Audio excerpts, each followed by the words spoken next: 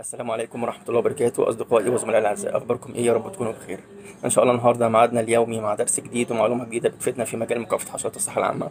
النهاردة أخدكم معايا في تمرين عملي جديد تمام؟ وإحنا عرفنا في الإعادة إفادة ومعلومة التكرار بيعلم الشطار فما نزهقش من كتر التمارين لأنها بترفع الخبرة عندنا والاحترافية أكتر عندنا تمام؟ النهاردة التمرين في كامب العمالة. الكامب ده المطبخ بتاعه موبوء بالحشرات الزحفة الصرصار الألماني تمام؟ التمرين إصابته عالية كويس؟ آه. إحنا اشتغلنا في المكان ده قبل كده بس على مطبخ تاني. فطبعا إحنا ده اللي بقوله ليكم لما يكون الشغل نضيف وبتعامل من ربنا الشغل بيزيد. مطبخ بيبقوا اتنين بيبقوا تلاتة بيبقوا أربعة. تمام؟ فما تقولش إن ده مطبخ صغير وخلاص واعمل أي حاجة لأ. مطبخ نضيف وشغلك النضيف بيجيب لك شغل تاني وتالت ورابع. تعالوا بينا نتابع ونشوف هنقول إيه في الفيديو دوت. وتابعوني ويا ريت بيشوفني لأول مرة يشترك في القناة ويفعل زر الجرس ويشارك رابط مع الغير علشان فايدة العلم تزيد. تعالوا بينا نكمل ونشوف هنقول السلام عليكم ورحمة الله وبركاته. أصدقائي وزملائي الأعزاء أخباركم إيه؟ ناخدكم النهارده في درس عملي عن الإصابة العالية لما يبقى في الصرصار الالماني تعالوا بينا نشوف الإصابة العالية يعني إيه. بصوا واحدة واحدة كده.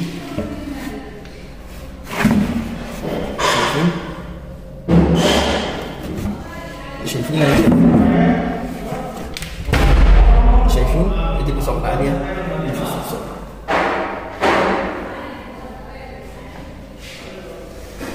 طبعا الكاميرا موضحه كمية الصراصير اللي في جزء ضئيل وجزء صغير.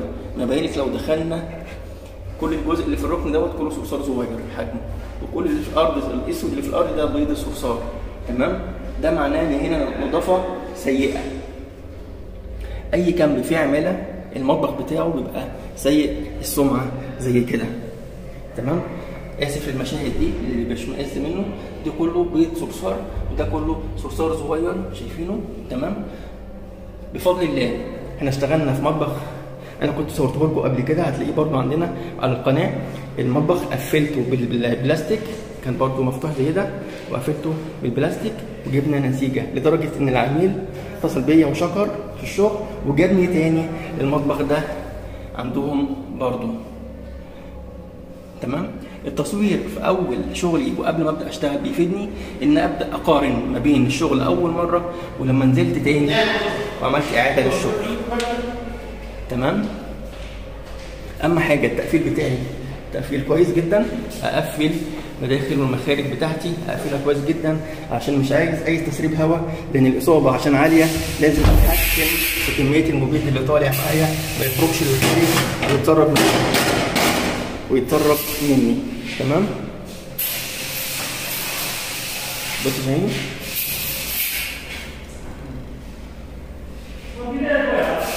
تمام؟ ما نستثناش أي مكان من الرش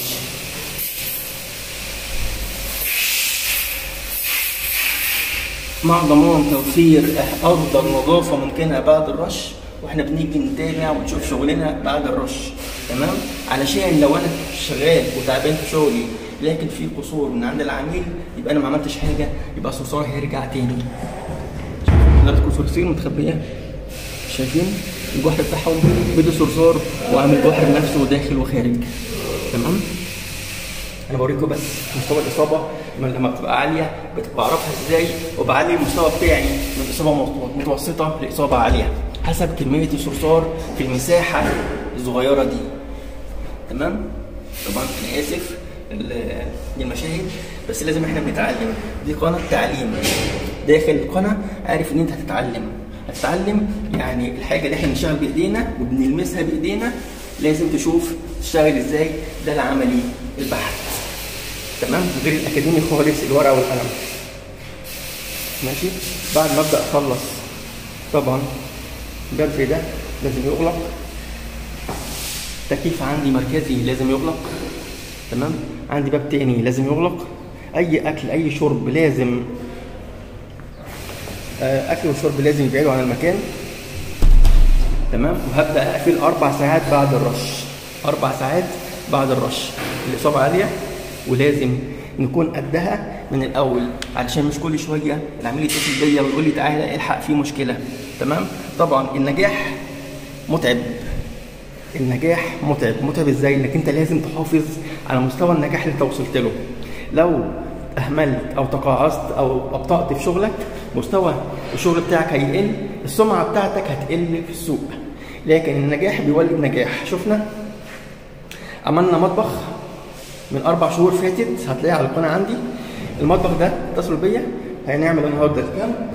الكامب كله بغرفه والمطبخ التاني والتالت والرابع. فاحنا خدنا كده المصنع من بابه زي ما بيقولوا. فما نستناش حاجة. المكان الصغير لو اشتغلت فيه بذمة وأمانة ربنا هيراعي شغلك وتعبك وهيكلله بالنجاح في صورة شغل أكتر. تمام؟ داخل شركتك وسمعه أكتر بتبنيها لشركتك وبتبنيها لنفسك. تمام؟ انت كده اسمك بيسمع شركتك بتسمع في السوق بتلاقي نجاح مكان ما بتروح لأنك مراعي ربنا شغلك وأكل عيشك ومع الناس أنت بتشتغل معاهم. تمام؟ طبعا البلعات كلها الفرعيه بتترش والرئيسية في الخارج بتتفتح وتترش. تمام؟ الجدران بتترش الأرضية بتترش. بنكثف الموبيل علشان يفتت ذرات الأكسجين اللي في الجو علشان يحولها ثاني أكسيد الكربون اللي هو هواء الزفير. الحشرة ما تلاقيش هواء تتنفسه فتموت مخنوقة. يبقى إحنا دلوقتي عندي ميزتين عندي الحشرة لما المبيد يلامسها هتبدأ تتفاعل مع جسمها وعندي لما أبدأ أكثف المبيد في كل ذرة أو كل ركن في الغرفة فوق وتحت يمين وشمال وتحت هيبدأ يفتت ذرات الأكسجين. الحشرة هتخرج من مخبأها مش لاقي هتهو مش هتلاقي هواء تتنفسه فهتموت مخنوقة. تمام؟ هتخرج هتدخل بعد الأربع ساعات هتلاقي الصرصار مقلوب على ظهره وميت. تمام؟ إحنا بعد الشغل بتاعنا بعد الشغل بتاعنا بنيجي نتابع الشغل عند العميل بنفسنا وبنشوف مش بنسمع من العميل ونكتفي إن العميل يقول لي الحمد لله وما فيش مشكلة. لأ بشوف شغلي تمام؟ وبتابع شغلي وباجي أقول له قفل المصادر بتاعتك. نظف باستمرار. يبقى لازم حد هنا ينظف باستمرار المكان ما يبقاش كده لأن هو قلة النظافة هي اللي بتجيب الحشرات. تمام؟ هنرش كله مش هنسيب أي حاجة. يبقى إحنا شايفين الولد شغال جوه ولازم يبقى قافل على نفسه علشان يتحكم في كمية المبيد اللي موجودة جوه ما يهدرهاش لبره. كويس؟ الأنبوبة إحنا قلنا الأنبوبة عشان برضه يبقى شرح عملي. الجزء السفلي دوت تمام؟ القاع بتاع الأنبوبة نفسه القاع يبقى فيه البيض بتاع صرصار لما بخشه عندي في مصر. من بجيب الأنبوبة من خارج من الشارع عشان أحطها عندي في البيت. يبقى فيه بيض صرصار ويبقى فيه حشرة كاملة بحطها أنا وأنا مطمن على القعدة جنب البوتاجاز ألاقي بعد فترة يومين ثلاثة البيض بدأ يفقس والصرصار الحي نازل يمشي عادي خالص وبيبدأ يزيد جوه البيت عندك. فإحنا قلنا حل للموضوع لأن عندك البانيو ممكن تغطس فيه مع في مية سخنة الأنبوبة. تمام؟ أو تجيب آه طبق بلاستيك غويط تغطس في مية سخنة برضو الأنبوبة. القاع دوت لمدة 10 دقائق تمام؟ إحنا بنغطسها في مية سخنة مش بنحطها على النار. زي التعليقات السخيفه اللي هتجيلي. بنحطها في مية سخنة. درجة هتقدر البيض دوت يبدأ ينزل من على الأنبوبة. تمام يتساقط في الميه السخنة. أو الحشره الكامله هتبدأ تموت في الميه السخنة. بعد كده نغسل الأنبوبة ونشيلها ونحطها بأمان. هي والقعده اللي محطوطة عليها ونحطها بأمان جوه البيت بتاعي وأنا مش قلقان من أي حاجة بتحصل. تمام؟ لازم أبص للهفوات الصغيرة دي لأن الهفوة الصغيرة النهارده بقت كارثة كبيرة بكرة. تمام؟ اللي عنده أي تساؤل واللي عاوز يسألني أي سؤال في موضوع حشرات الصرصار الألماني. اتفضل اسألني وأنا هرد عليك. أرجوك لو بتشوفني أول مرة. اشترك في القناة. فعل زر الجرس. شارك الرابط مع الغير. علشان فائده العلم الجديد خلوها دعوة بيننا وبين بعض علشان ينتشر العلم ينتشر بيننا وبين بعض. السلام عليكم ورحمة الله وبركاته.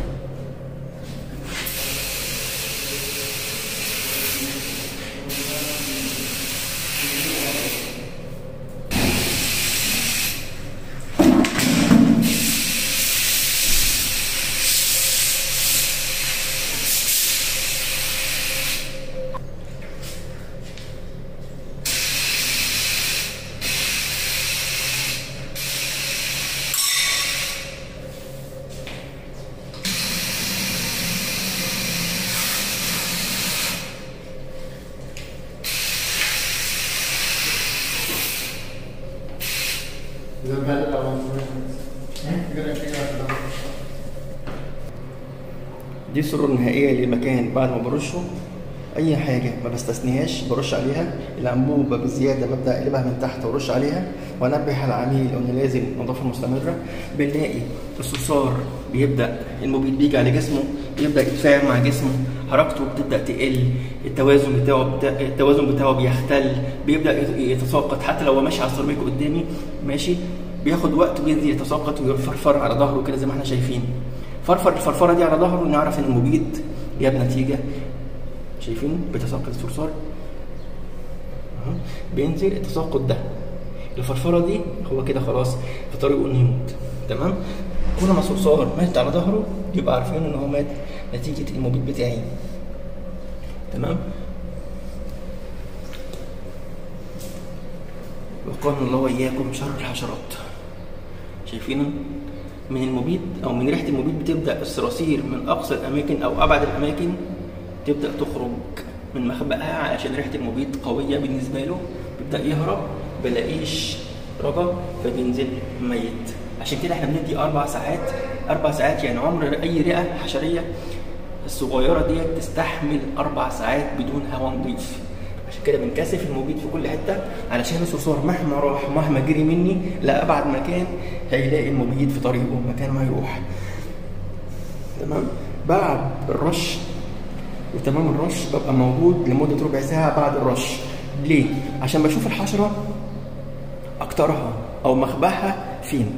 برجع تاني أعيد الرش عليها علشان ألاقي أقصى نتيجة وما أجيش تاني. أنا كل هدفي إن هي تبقى رشة واحدة محسوب سعرها إن أنا ما أجيش تاني ويبقى لود على الشركة وتعب جسماني عليا أنا والناس بتوعي. فلازم بعد الرش أستنى ربع ساعة عشان اثر المبيد يبدأ يتفاعل مع الحشرة. تمام؟ ويبدأ الصرصار يخرج من مكانه. مش أنا اللي اخرجه هو هيخرج غصب عنه. تمام؟ أنا بدماغي اللي خلى صرصار يخرج من مكانه وأعرف هو موجود اكتره فين؟ وأبدأ أتعامل عليه علشان أقول له مع السلامة باي باي ابعد عن المكان ده ما تجوش تاني. لازم تحط بصمتك أنت في أي مكان تبدأ تشتغل فيه. ومن هنا هتبدأ الشركة الصغيرة تتعرف الشركة الصغيرة النهارده بقت بك- بكرة كبيرة. المهندس الصغير والمهندس حديث الخبرة النهارده بقى بسم الله ما شاء الله يتعمل له حساب بكرة. مفيش صغير النهارده. ما دام ليك هدف بتسعى إليه بكرة بإذن الله هيبقى اسمك في الصفوف الأمامية لأحسن وأكفأ المهندسين. يا رب يكون الفيديو عجبكم إن شاء الله وما تنساش تدوس إعجاب ما تنساش تشترك تف- تفعل زر الجرس وتشارك الفيديو مع الغير عشان فائده العلم تزيد. السلام عليكم ورحمة الله وبركاته.